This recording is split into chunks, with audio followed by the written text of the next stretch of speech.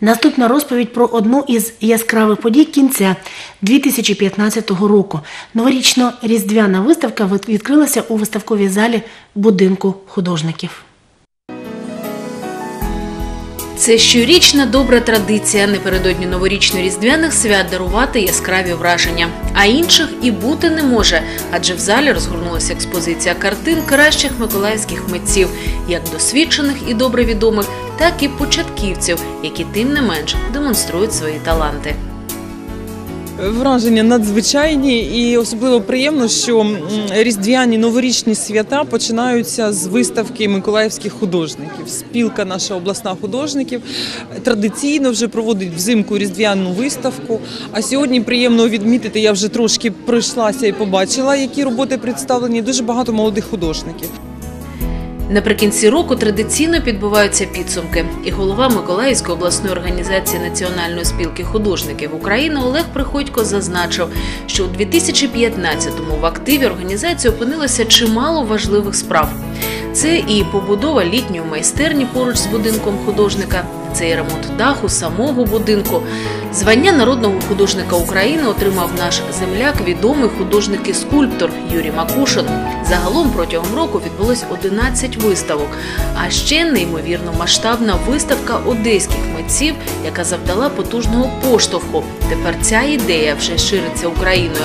Інші обласні організації взяли на замітку наш досвід. Зрозуміло, планують художники і рік наступний. У нас есть план выставочной деятельности. Значит, персональная выставка будет. У нас пройдет Макушиной Инны, Макушина Вити. Так, теперь Гуменный попросился на май месяц. А потом э, художник, который не член Союза, но интересный художник, Аграфена. Вот зимой будет.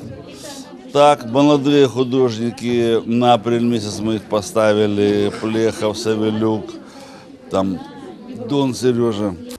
Говорить Олег Приходько і про більш амбітні плани. Втім, якщо зважити на його творчий запал і енергію, то можна припустити, він їх реалізує. И у нас есть э, такая супер задача, мы хотим создать э, выставочный фонд работ и повозить его по миру. Как получится, я не знаю, об этом как бы не говорят, но я его озвучил уже на собрании, озвучил направление, точнее на- наоборот, направление на собрание. Получил поддержку и будем делать большую акцию. Поки ж планується наступний рік, ця виставка триває і дарує насолоду творчістю. Від самого початку зали настрій зимовий, надзвичайно ностальгічний, задають роботи Рустама Мірзоєва. Михайло Озерний віддає перевагу пейзажам, зимові додають доброго передріздвяного настрою. Зимовими фруктами прикрасила свої роботи Юлія Гур'єва. Незвичайний проект, частина якого в цій експозиції витончений по східному філософський Євнан Мірзоєв.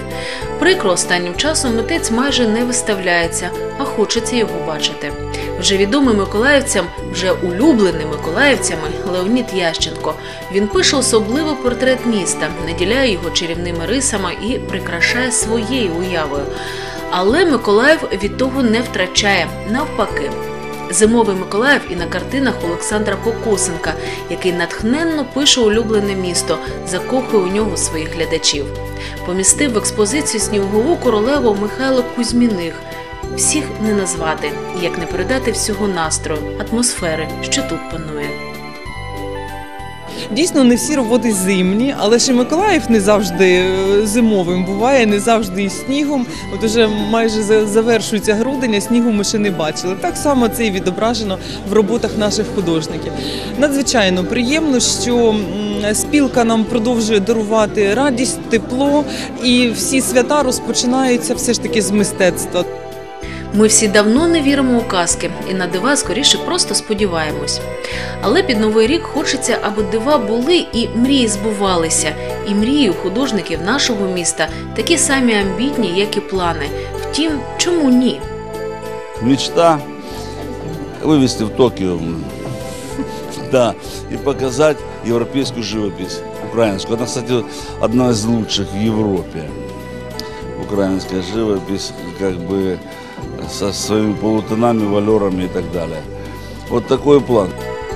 Нам залишається приєднатись до всіх побажань, що лунали на адресу наших митців, і побажати їм, аби всі їх плани і мрії збувалися.